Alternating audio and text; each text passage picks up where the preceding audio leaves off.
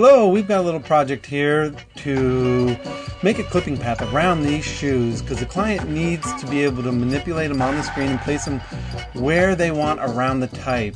The tricky part is this clipping path needs to have its shadows. So the first thing I'm going to do is adjust it in camera raw.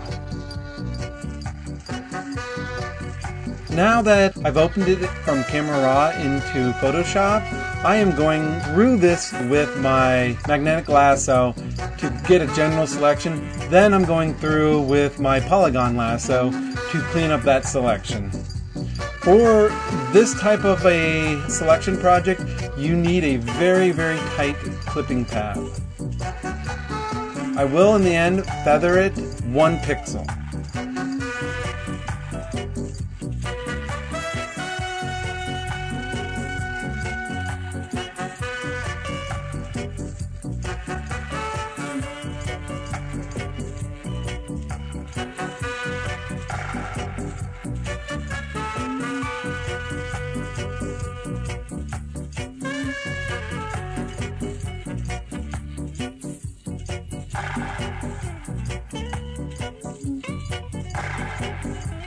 Now that my basic selection is done, I'm going to separate these shoes into their own layers. Then I'm going to make a copy of each shoe and fill it with black.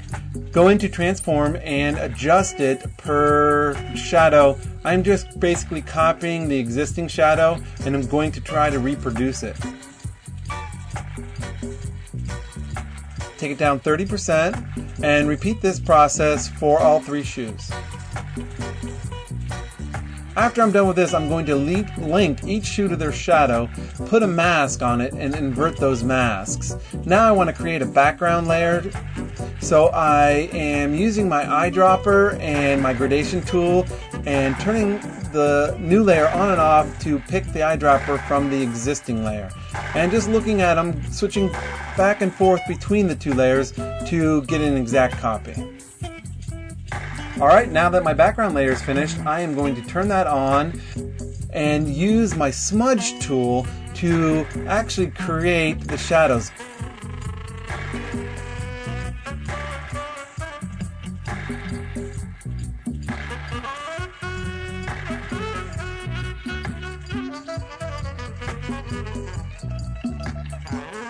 So what I did is select these shoes and paste white into these layer masks. Then I'm going to use my smudge tool to pull out that white to give it a nice organic feel to the shoe. And so I'm really just painting with the smudge tool right now. I will continue this process through all three shoes.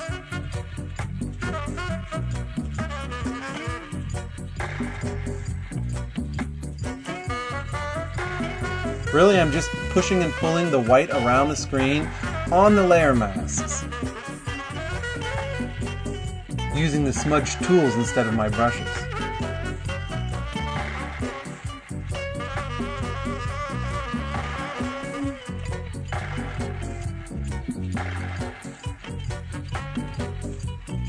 I'm going to place some type on the screen to show you what's going on. This is my shoes without any background. The shoes act totally independent of the background now and really can be placed anywhere on the screen. Thank you.